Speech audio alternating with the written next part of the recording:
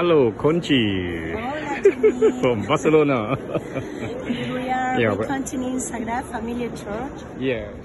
We have here Sagrada Familia model with all the 18 towers we need to build in the future.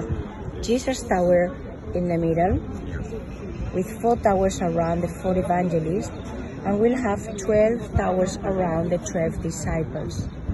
So we have finished now the approximately 80% of these constructions. And here you can see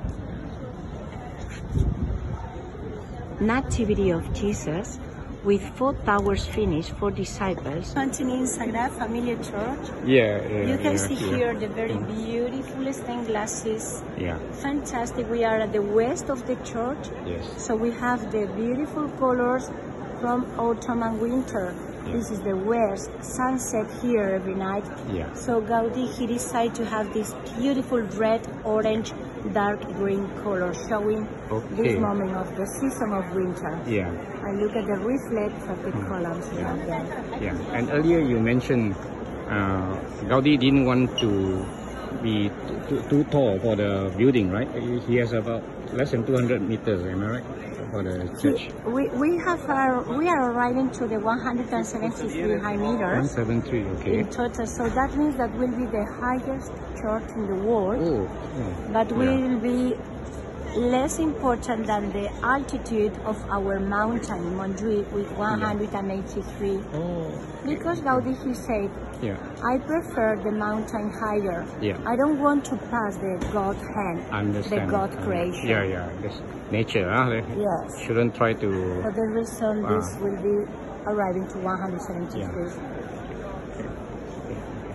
Look at the other colors over there. Yeah. The other stained glasses, spring and uh, and summer. So you can see the very big differences between the stained glasses in one side and on the other side. And very very important to have and to see the differences between the columns with the very different colors because Gaudi he was using different uh, materials it depending of the weight he needed to support and very lucky now because we can hear little bit the music of the organ organ is there so someone is playing the organ now so fortunate to come in with you at this time. oh yes fantastic lucky now yeah. And lucky because we can see that spectacular lights where is the organ? It is uh, down down the corner there. is there at the corner, but we'll have more music organs in the future. We'll have two more there with Joseph. You can see Joseph over there. And we'll have two more music organs here with Maria too, with Mary.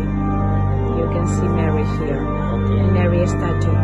This is the name of the church, Sagrada Familia, because Mary, Joseph, and Jesus. That is the meaning of the church. That is Actually, reason. nobody knew. Exactly.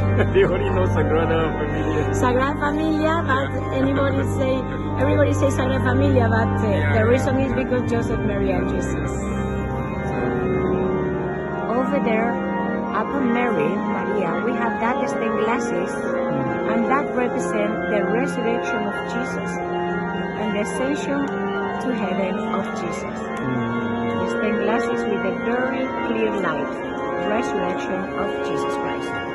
Here's a tomb of Gaudi, right? Yes, this is the Gaudi tomb we have over there few people have at the chance the to see end. Yes, you can see over there with the red candles Yeah. the Gaudi tomb. This is the crypt Yeah.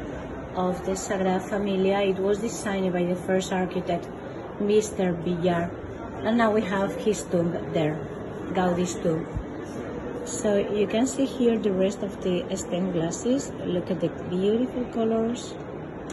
And look at the red colors here It's so brilliant. so brilliant. It's, uh, we cannot appreciate very well with the camera. It's much better directly, of course, but it's a fantastic stained glasses. Look at the light.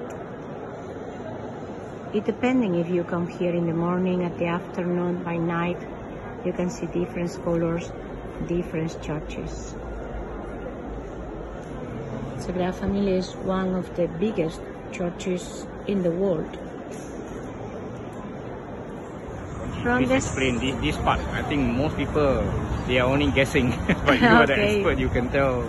Huh? Oh, wow. so we can see here the last facade dedicated to the Passion of Jesus, with four mobile towers on the top, because we have four mobile uh, disciples there. Remember, we'll have 12 towers around, and all the Jesus moment, Jesus death in front and right.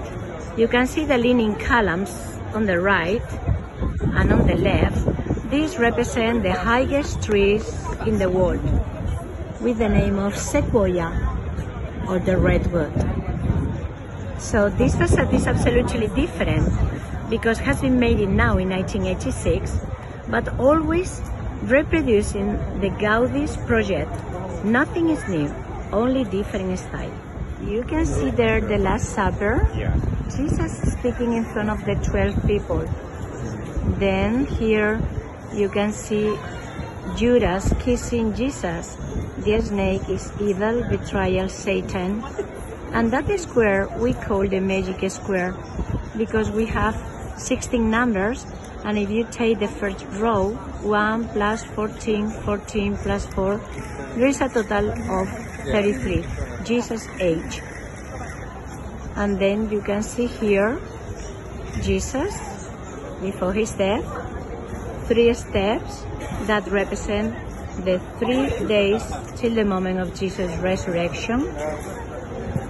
We can continue here and you can see St. Peter when he denied three times Jesus and the rooster. Then we arrive to the second level where you can see Jesus on the cross, Veronica in the middle, and there is a person very important there, Gaudi. That is the face of Gaudi Okay. at the center to the left. Oh, it's Gaudi. Is Gaudi looking all the history. Yeah. And then at the end you can see Jesus on the cross. And if you look, Jesus' head is like an open book. It's a Bible where we can find all the history of him. We have here this beautiful door, write it in Catalan language. All the words here are write it in Catalan.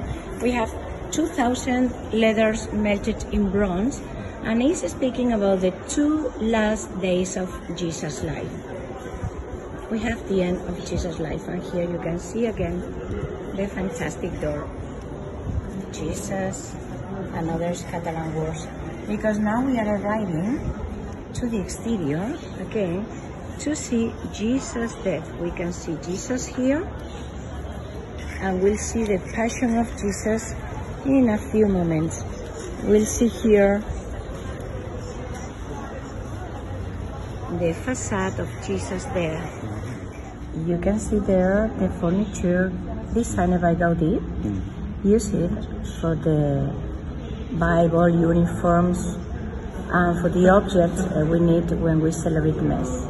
We can see here the floor of the exit of the church. Fantastic because you can see Jesus and he's arriving to Jerusalem temple Yeah.